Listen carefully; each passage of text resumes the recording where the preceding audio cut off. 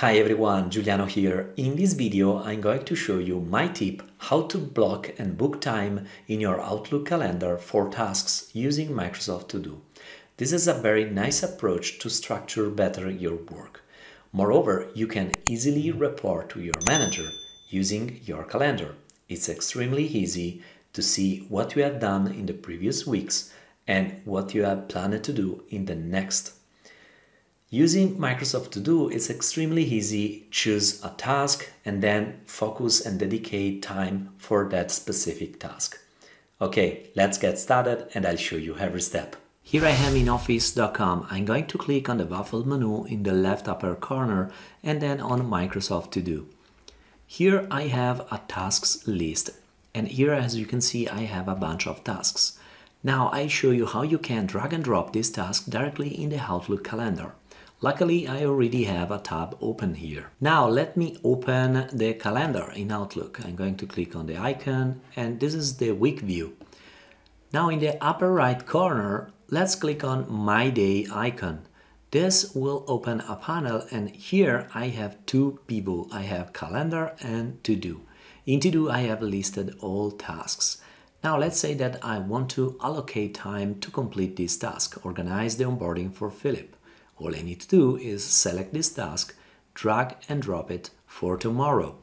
And now I planned 30 minutes to complete this task. Of course, I can rearrange this time slot, let's say two hours, and then this task will be completed.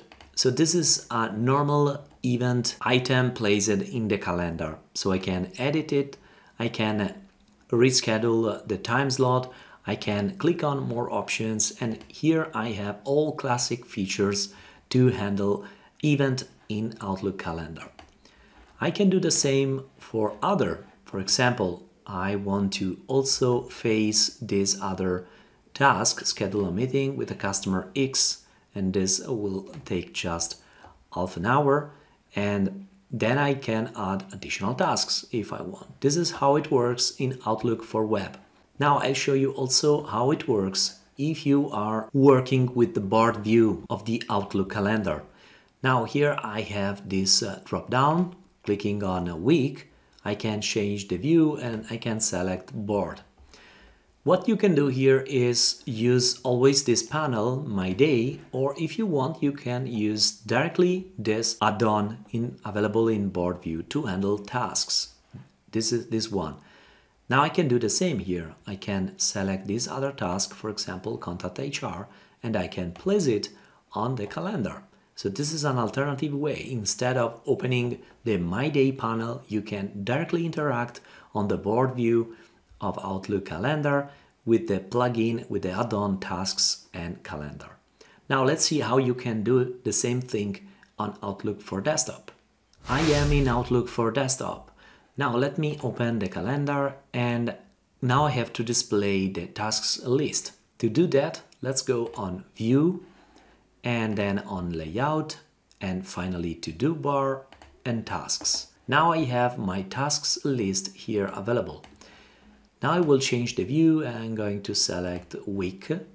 And here basically you can do the same. I'm going to select this task and then I'm going to drop it exactly here in this day. So here I can do the same. I can expand the time slot for this task and so on. Now, it's important to note that if you set this task as completed, the event on the calendar will remain. So let me mark as completed this and as you can see this uh, time slot is still allocated for that. This is the best feature for my opinion of this use case because Working in that way, you have always the ability to have an history on your calendar. You can see what you have done yesterday and in the previous days. Alright, we have seen in this video how to use Microsoft To Do to block and book time for your tasks in your Outlook calendar. If you enjoyed this video, please consider to subscribe, comment, like. Thank you for watching and I hope to see you next time.